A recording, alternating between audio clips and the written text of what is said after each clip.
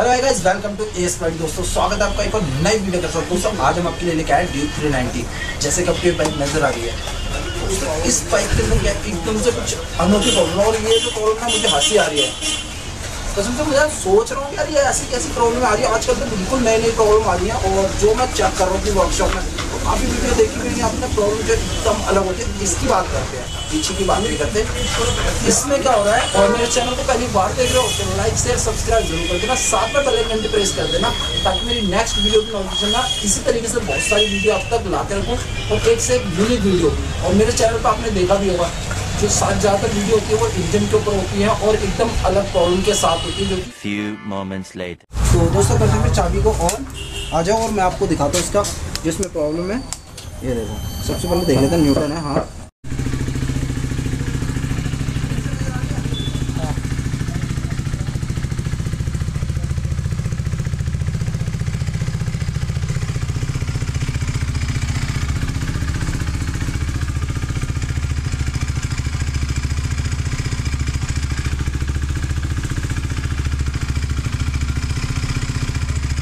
Few moments later.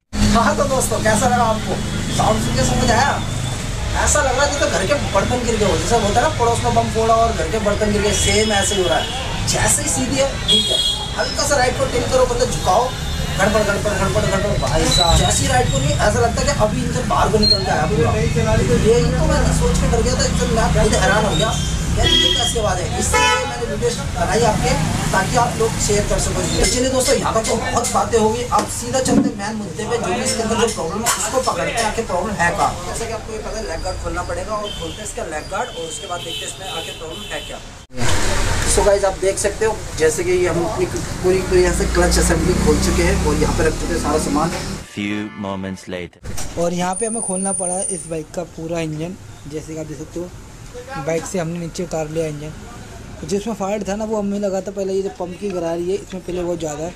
इसकी वजह से आवाज़ करेगी, पर इसमें ये भी दिक्कत नहीं थी। क्लच वॉचिंग वगैरह चेक कर लिया, उसमें कोई दिक्कत नहीं। हमने उसके बाद खोला अपना मैगनेट होती है मैगनेट ना यहाँ पे, इसको हमने पूरा बाहर निकाल लिया, उसमें भी कोई दिक्कत नहीं आई। सब कुछ चेक करने आखिर में पता लगा, जो अपनी यहाँ पे दोस्तों चैन गाइड, उसमें गाता मैं आपको। ये ये जो अपनी चैन गाइड, ये है सीज अंदर से, देख लो यहाँ पे? शायद आपको प्रॉपर नज़र ना दिख गई।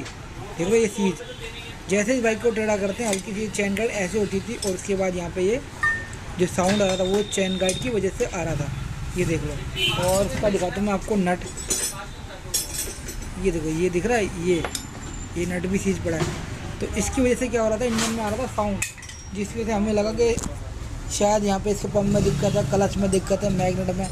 बड़े इसमें आज ये दूसरा दिन है पहले दिन में कुछ भी नहीं हुआ था सिर्फ़ एक आर एन डी चल रही थी। क्योंकि हमें भी नहीं पता ना बाइक में एक्चुअली में दिक्कत है कहाँ। अब वो तो काम करने के बाद ही पता लगे बाइक के अंदर दिक्कत है कहाँ।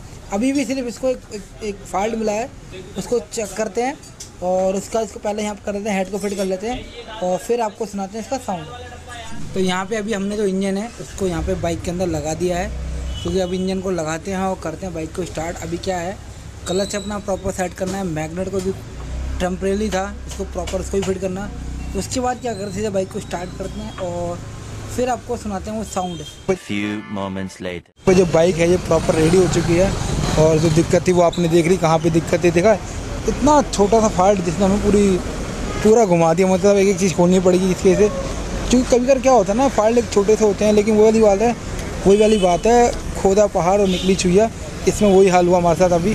तो आपने देखिए तो कर फिर भी आपको मैं इसका साउंड सुना देता हूँ साउंड की ज़रूरत तो है नहीं, लेकिन फिर भी आपको सुना देता हूँ उसका साउंड देखो, यहाँ पे जो बाइक है, ये कंप्लीट है, जो उसमें दिक्कत थी वो ख़त्म हो गई है, जो ये साउंड की परेशानी थी मुझे, और ये पता क्या ना कस्टमर को तो मालूम भी नहीं था कि बाइक में ये दिक्कत है, उनको पता भी नहीं था, वो तो मैंने बाइक को चेक करा और मैंने देखा ये दिक्कत है तो उन्होंने बोला, कोई बात नहीं, अगर दिक्कत है तो उसको ठीक कर दो। तो फाइनली दोस्तों, यहाँ पे जो बाइक थी अपनी, वो कंप्लीट हो चुकी है।